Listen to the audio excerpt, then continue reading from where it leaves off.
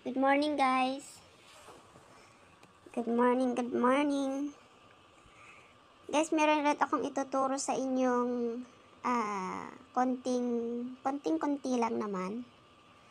Ah, konting kaalaman kung papa, sa Messenger at saka sa Facebook. Kung papaano nyo sa Messenger kung papaano nyo gamitin yung sounds effect ninyo. At saka kung paano nyo malaman kung may gumagamit sa iyong messenger. At kung papaano mag uh, papaano nyo mag ah, automatic na masisave yung na-capture nyong picture sa iyong gallery. So, ituturo ko kahit sa inyo kung papaano yon So, first punta tayo muna sa messenger. Messenger muna ang ituturo ko sa inyo. So, guys, click nyo yung messenger nyo. Tapos, kunyari ito, magte-text tayo dito.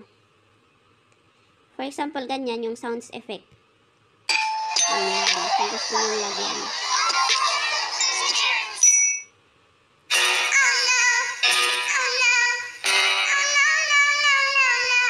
Vodka martini. Shaken, not stirred. Parang ganyan. So, guys, i-pindot nyo lang yung type i-message. Tapos, pipindot nyo ito. Pindot nyo muna yung pindot nyo muna ito. Pagkatapos nyo napindot, may lalabas na ganito. May lalabas. Tsaka nyo ipindot ito. Kapag pinindot nyo yan, guys, oh, yan, napindot na natin. So, may lalabas na mga ganyan. So, pipili tayo ng may sounds. Parang, dami. The name's Bond. Macaroni in a pot.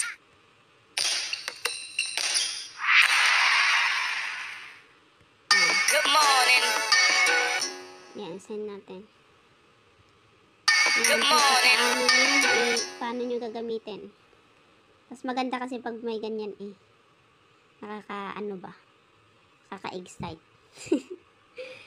so, next is kung pa paano nyo naman ma-activate yung ah yung mag yung meron kayong ika-capture sa messenger tapos mag ah, ah, mag-automatic na masisave sa yung gallery. So guys, i-tap natin yung dito profile natin. Tap natin yung profile natin dito sa taas. Ito. Tap lang natin yan.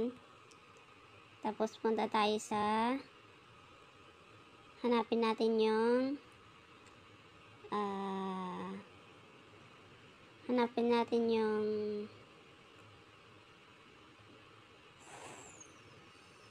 photos and media. Ito. Click natin yan. Pagkatapos may makita tayo dito ang save on capture, i-on lang natin ito. Ito, i-on lang natin yan. Ayan. Tapos punta tayo sa messenger, try natin. So, ito. Magka-capture tayo, kunyari magka-capture. Ayan, tapos i-send natin. Ay, na-send na. I-check natin sa gallery.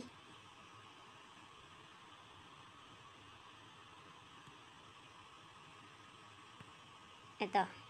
Na, na, na-save na sa gallery natin. So, ganun lang guys kung paano nyo i-activate yon. Mas, ang kagandahan kasi nun guys is kahit uh, wala kayong kumbaga kung na, uh, na nawalan kayo ng net tapos meron kayong gustong balikan sa mga kachat nyo nakalimutan nyong i-save mag-automatic na mag-save sa iyong gallery kahit wala kahit hindi niya hindi nyo nabuksan at wala kayong net So next guys, kung paano nyo naman malalaman kung merong gumagamit sa iyong messenger, messenger account. So, punta kayo ulit sa messenger na messenger nyo. Tapos, tap nyo ulit yung profile nyo dito sa taas. Sa ta yan. Tapos, hanapin nyo yung ah, hanapin nyo yung privacy. Tapos, ito, login. Itap nyo lang yung login. Tatap nyo lang yan. Makikita nyo ito, yung mga, kung saan nakalagin yung mga messenger natin. Ito naman, alam ko ito eh. Kasi ako ang nag, uh, ano dito. Ako yung nag, nag-login. So, kung gusto nyong tanggalin, itap nyo lang ng medyo matagal. Ganyan, may lalabas na ganyan. Itap nyo lang. Scroll up nyo. Ito. May, eh, pwede nyong i-log out. Meron log out dito sa, dito. Ayan, pwede nyong i-log out dito sa baba. Sa lower. So, dito kasi guys, pwede nyong makita kung saang lugar, kung anong cellphone ang ginamit sa pag-open ng iyong messenger, kung anong oras, at kung ah, kailan nila madidetermine dito kung ilang ah, ilang buwan ilang araw. So guys itatap nyo lang na ganyan makikita kung saan niya inopen. Dito. Yung, information. Itatap nyo lang siya kung gusto nyo makita yung information kung kailan kung saan niya na i-open kung saan lugar.